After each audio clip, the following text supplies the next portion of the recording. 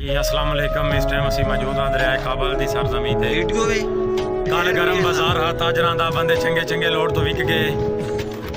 ਕੱਲ ਗਰਮ ਬਾਜ਼ਾਰ ਹਾ ਤਾਜਰਾਂ ਦਾ ਬੰਦੇ ਚੰਗੇ ਚੰਗੇ ਲੋੜ ਤੋਂ ਵਿਕ ਗਏ। ਕਈ ਸ਼ੌਕ ਤੋਂ ਹੋ ਨੀਲਾਮ ਗਏ, ਕਈ ਰਿਜ਼ਕ ਦੀ ਥੋੜ ਤੋਂ ਵਿਕ ਗਏ। ਕਈ ਵਿਕ ਗਏ ਸਜਣਾ ਦੀ ਸੰਗਤ ਪਿੱਛੇ, ਕਈ ਆਪਣੀ ਲੋੜ ਤੋਂ ਵਿਕ ਗਏ। ਸਾਨੂੰ ਕਿਸੇ ਮੁਫਤ ਪਸੰਦ ਨਾ ਕੀਤਾ, ਕਈ ਲੋਕ ਕਰੋੜ ਤੋਂ ਵਿਕ ਗਏ। ਮਿਹਰਬਾਨੀ।